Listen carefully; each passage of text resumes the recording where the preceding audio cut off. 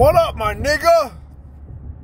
Hey, like and subscribe. I'm trying to get 12, 12 subscriptions on this uh, bitch ass channel. Hey, uh, this is a 2000, uh, I believe it's a 2014 uh, F 150 six speed with 100,000 miles and an EcoBoost, I mean, a, a twin cam 3.5 liter. Anyway, uh, when I was cruising here about 60 miles an hour, it was doing like a shudder in the transmission, kind of like a uh, like you're going over speed bumps, like a bzzz, bzzz type of deal.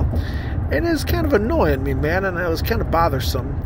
Um, and I'm kind of reiterating what what you could already find, but I want to confirm to you that it was true. It doesn't do it anymore. I um, went to the Ford dealer, did not replace the pan gasket, but um, anyway, I changed the filter and fluid, and now it quit doing it. So changing the fluid and filter quit doing the problem. I do also happen to have a transmission flush machine.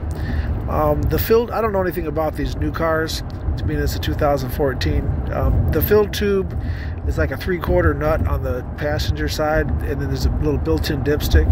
I think it uses the LV fluid, transmission LV style fluid. Um, so if you happen to have a, a, transmission machine, a flushing machine, and you happen to have a $30,000 hoist, which most people probably do, um, what you can do is you can drain the pan with your flush machine. It just hooks up right in the, the front uh, trans cooler. Very simple hookup. I mean, as simple as it gets. It's a transmission cooler right in front of the radiator. So you just tee into that transmission cooler, and then you can drain the pan with your machine so that when you drop your pan, which they were 8 millimeter screws, when you drop the pan, and one of them broke, but when you drop the pan, and I used a long extension with a universal to get the back by the crossover. Anyway, when you drop the pan, hopefully not as much food will come out. Anyway, I got a new filter, and I did not replace the gasket because it was a reusable gasket. Um, and then I uh, put a new filter in there, torqued it down to whatever, 15 foot pounds, 12 foot pounds, and uh, and uh, then I still it got better but it was not as bad when i changed the filter. So then i went off and flushed it out. I bought two more gallons. Probably costed me about i don't know under two close to $200 for the fluid and the filter.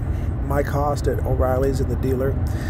Um, probably if you're a consumer and you go to a dealer you probably end up i would have to think you'd be spending at least 400 i mean if the materials cost two they got to pay the mechanic at least one so you'd be looking for four or five hundred bucks for a flush and fill. I mean, how else are they going to do it unless they're going to use some generic improper fluids?